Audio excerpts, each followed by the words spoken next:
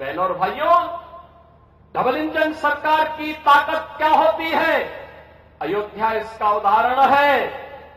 और जम्मू कश्मीर में आतंकवाद की प्रतीक बन चुकी धारा 370 का हटना, उसका दफन हो जाना, यह उसका उदाहरण है। और इसीलिए मैं आज आप सबका आह्वान करने के लिए आया हूँ। हरियाणा ने 10 वर्ष के अंदर 10 वर्ष के अंदर हरियाणा ने डबल इंजन सरकार के नेतृत्व में कार्य को होते हुए एक अंजाम तक पहुँचते हुए देखा है। हाईवे का निर्माण। रेलवे की प्रगति। नए नए फ्लाईओवर और रोड ओवर ब्रिजेज बनना। नए नए औद्योगिक क्षेत्र का विकसित होना।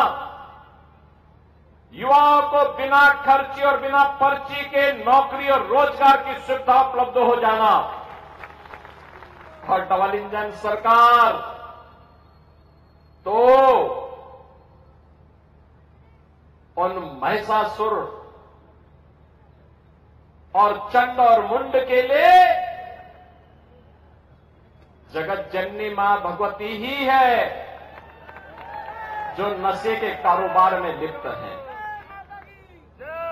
बहनों और भाइयों ये नशे के जो कारोबारी हैं, जो देश को निकल जाना चाहते हैं, युवाओं की जवानी को छीन रहे हैं।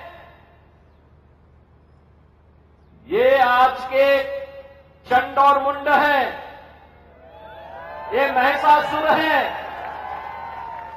और इसीलिए मैं आपका एहसास कराने के लिए आया हूँ।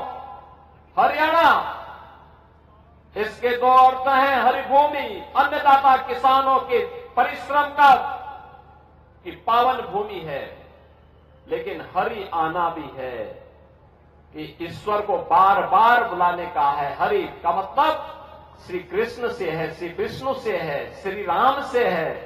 राम को बार बार इस धरती में बुलाने के लिए ही इसका नाम हरि आना हो गया है, कि हरि बार बार आना यहाँ पे। यानी जो उपदेश पाँच हज़ार दो सौ वर्ष पहले कुरुक्षेत्र की भूमि में भगवान श्री कृष्ण ने दिया था, उसके लिए हमारे पूर्वजों ने इसका नाम हरियाणा लिखा।